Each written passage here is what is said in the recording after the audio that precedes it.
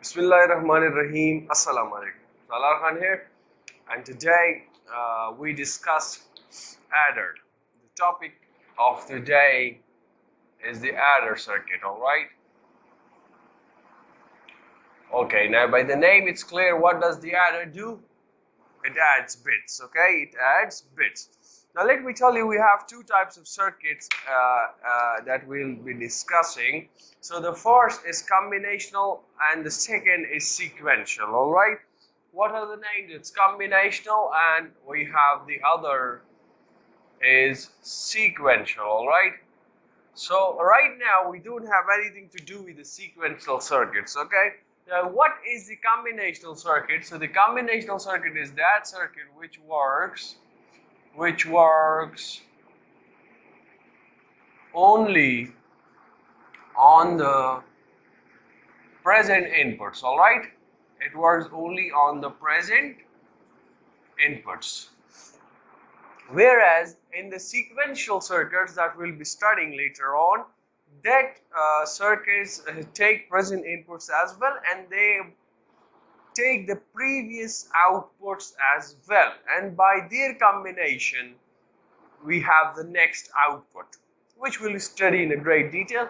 But for now the combinational circuit should be clear to you that what does it do? It is it is only working on the present input provided to it all right? Simply. Now what is adder so add bits? Now and, and we have two types of adders. The first that we discuss is the half adder. Half adder, all right. Now, what does this half adder do?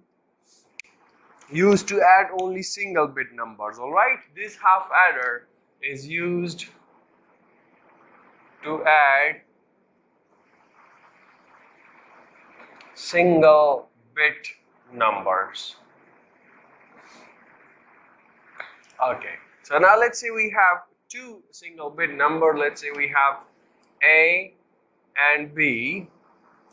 And so so when while adding numbers we can have a carry and we can have a sum. All right? We can have these two. So the combination the input combinations are 0 0 0 1 1 0 and 1 1 all right? These are the input combinations now if you add 0 and 0, so the carry is 0, the sum is 0. If you add 0 and 1, the carry is 0 and the sum is 1. Similarly for 1, 0, the carry is 0 and the sum is 1. And for finally for, for a 1 and 1, the carry is 1 and the sum is 0. And that is what you know, okay?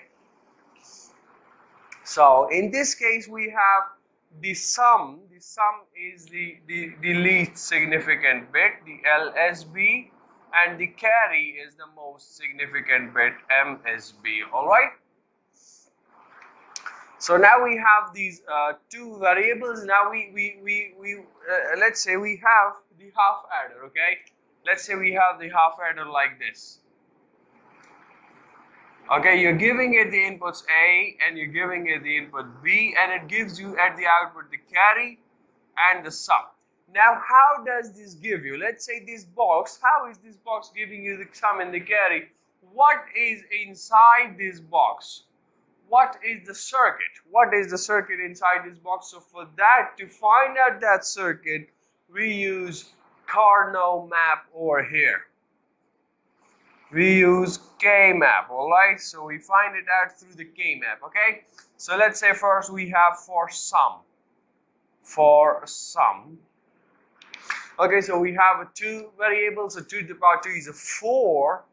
So we have a, a, a 4 blocks cell, alright? This is A, this is B, okay? We have a 0, 1 and 0, 1. Now if you fill it for sum, you fill it for sum, so you have a 0, 1 and 1, 0. Alright, so you cannot group them, you have to write them alone. So the sum is represented by what? In this case, we have an A, B complement, A, B complement. And in this case, now you have an A complement B, an A complement B. Now you know this is the exclusive OR operation. A into B complement plus A complement B is what? It's the exclusive OR operation which means it's the odd ones detector and this is A XOR B. I can replace it like this, alright? And you can see from the truth table also that this is the truth table of what? The truth table of the exclusive OR. Alright. Now for carry, similarly you do it for, for the carry also. So let's say we have it uh, over here or over here.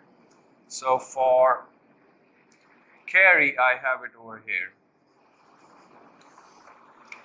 So again, the same four cells map would be like this, the four cells. And we have an A, B, 0, 1, 0, 1. Now this is simple, you can also guess it from, guess it from the, the truth table. So 0, 0, 0 and 1. So you can guess that this is the table for AND operation. But see, again we see over here. So carry, this carry is now uh, what? Only this one, so this is AB. So which means this is A and it with B. Now this is what we have over here, okay? So now uh, what was basically the circuit, so the circuit we draw uh, inside, what is inside this? So we draw it over here, okay? Let's say I remove this part of it, so, or this also. So let the combinational stay. Okay. So over here you have A XOR with B and over here you have an A ANDed with B. So you do what? You draw the XOR gate. Uh, let's say this is the XOR gate. Alright, the output is giving you a sum and you draw an AND gate the output of which is giving you a carry. Alright, so you draw it like this. Now you have the two inputs, you have A and B.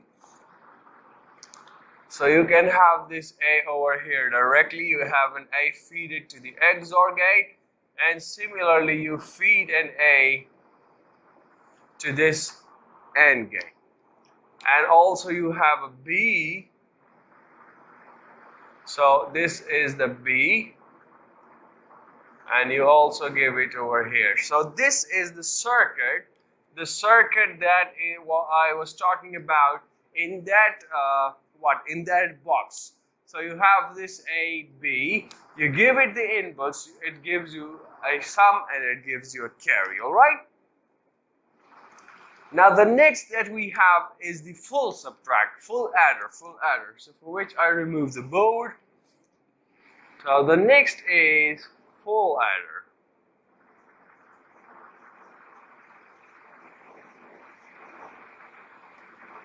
So in the full adder, let's say we have more than two bits. So let's say I have I have three three inputs A, B, C and then we have a carry and then a sum of course. So let's say I represent the carry by a C output and this input C by a C input, alright?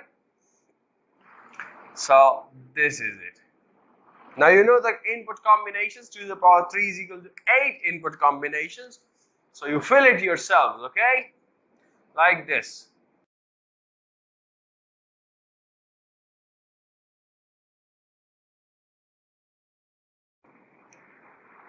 All right, now you do what? You find out the carries and the sum. In this, in this part also, we have to find what?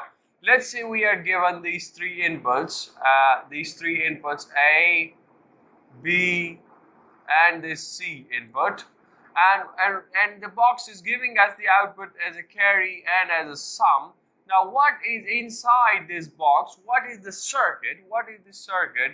Inside this that it is giving, it is taking the inputs and it's giving us the output. So we need to determine that, okay? So we do it with the help of this truth table. So now if you're adding zeros to zeros, you have a carry zero and a sum zero, right? Now if you have a 0 added with 1. So you have a, a carry 0 and a sum 1. Again, so you have a 0 and a 1. Now if you have a 1 added with a 1, so you have a carry 1 and a sum 0. Alright, now again, uh, 1 ended with 1 or with 0, 0, so you have uh, carry 0 and sum 1. 1 and 1 again, so carry would be 1, sum would be 0. 1, 1 again, so carry would be 1, sum would be 0. In this case, you have 3 1, so we've already seen, so the carry is 1 and the sum is 1. Now, if you don't know how I'm filling that, so you need to watch the binary addition videos previously, alright? So this is it. Now we simplify it again for the sum and for the carry. By K-maps again, okay? So let's say first we do it is for sum. For, for sum. So, so these are three variables. So you have a 2 to the power 3 is equal to 8 cells in this K-map. You will have 8 cells in this K-map like this. 2, 4, 6, and 8. You have an A, the most significant bit, A, B, C inputs. You have 0, 0, 0, 1, 1, 1, 1, 0, 0, 1. Now you fill it with me, okay? So this is for sum. So we have a 0, 1, 1, 0, 0, 1, 1, 0. And then we have 1, 0, 0, 1. Now, I tell you a shortcut. Whenever you have this sort of a checkboard configuration, checkboard, checkboard configuration, which means the diagonals, you're going in this way or the other way around. So you have what? You, you have this an XOR operation, all right? You have XOR operation. Which means in this case we have an A XOR B XOR C. But still if you don't believe it, so let us do it directly. So we can't group any groups. So we have it like this. The sum function is given as, uh, this is A, B complement C complement. Alright. Then we have an A complement B complement C. Then we have A, B, C, and then we have A complement uh, B and C complement. So have a look. Each variable is present in its original form and its, its complemented form. In its original form and its complemented form twice. Alright, we have three variables, so they will be present twice and this represents what? This represents the exclusive OR operation.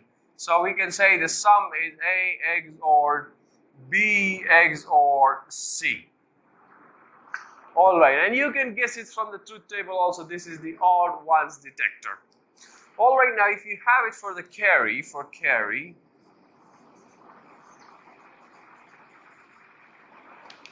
so again you have a 8 cells map like this A, B, C. This K-map does it easily, all right? Or you, uh, the guessing so this takes a little time, okay? So now filling it for carry, you have a triple zero one, triple zero one, and then you have a zero triple one, zero triple one. So now if you see this carry, so what do you have? You can have this group of 1. This is the first group. This could be the second group. And this could be the third group. Alright? So the first group, let's say the carry is, uh, for the first group was this one. So we have it an A, uh, A, B. All right, in the second group we have a BC and in the third group we have an AC. So now C is common in these two, so you have a C is equal to AB plus C times, here comes A plus B, but this is this is also equivalent to A XORed with B. Alright, in this case, the C A plus B would be equivalent to A XORed with B. And how is that? How is that? Definitely, it's a definite question. So I prove it for you like this. Okay, so let's say I remove this. and this also. Okay. So I proved that for you. How is that an A XOR B? So this is, let's say, uh, the method number two, you can call it. So you have again A, B, C, you have a 0, 0, 0, 1, 1, 1, 1, 0, and a 0, 1. So you fill the map like that again 0, 0, 0, 1, 1, 1, and 0, 1. So you can do that by, by, by taking this, a group of 1, and now let's say this is the, the what? the checkboard configuration remains. So this is a single, you treat these two as singles, all right? So in this case, you have the carry, the carry equal to what? Uh, in the first group, we have an AB, XOR or with this, this thing is now what? This is A, B, complement C, and finally that one is A, B, C. Okay. This is an A complement BC, all right? So, so, so what do you do now? Uh, you have a C common to that. You have a C common to them. So C is equal to AB, uh, or, or this is the C output, all right? This is the C output. So AB plus, you take the C output, you have an AB complement plus A complement B remaining, which is what? Which is the exclusive OR operation.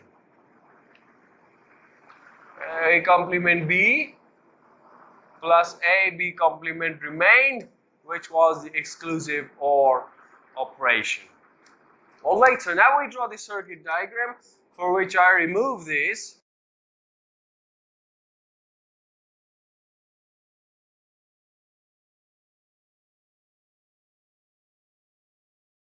All right, now I also write the sums formula over here. That was A XOR B XOR C. Okay, so now what do you do? You take this A XOR B XOR C. You can have a three input OR gate as well, but we need the X, XOR B again in the carry. So we do what? We have one XOR gate, let's say represented by the black color. This is, let's say, first XOR gate. Okay? Okay. Now this, let's say, is the second XOR gate. So, for, for the sum you have what? You have A XOR with the second color is let's say this. This green represents B and C is represented by let's say the red color. So now this is what? You give that output to it as well this output.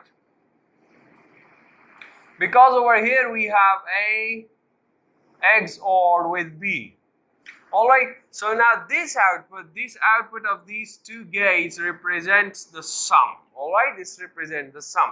And now what would be the carry? So the carry, what we have uh, two AND gates involved.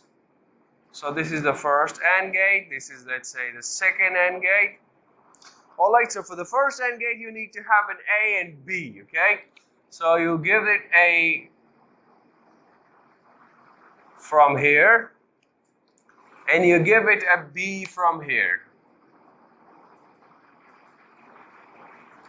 All right, this is AB now, okay? And then for the next, you want, you have a C times, a C times, okay, let me bring it from here.